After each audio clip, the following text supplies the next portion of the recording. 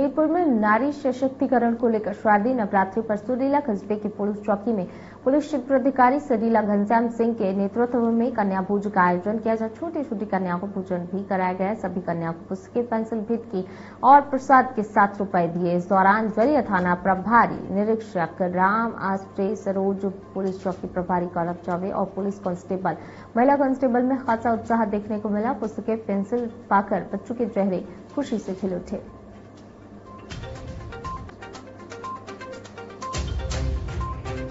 नारी शक्ति मिशन के तहत आज अष्टमी के दिन छोटे बच्चियों के लिए भोजन आयोजन किया गया। भोजन का भी कार्यक्रम हुआ और ये ध्यान में रखा गया कि ऐसा ही आयोजन करके हम इस मिशन को आगे बढ़ा सकते हैं और बच्चियों के अंदर एक भाव पैदा कर सकते हैं कि उनके अंदर बहुत शक्ति है। उसको जागृत करें, आगे बढ़े और समाज में अपने को स्थापित करें। यह प्रयास हमारा रहा है और ये छोटे बच्चों के अंदर इसी को पैदा करने की कोशिश की गई है।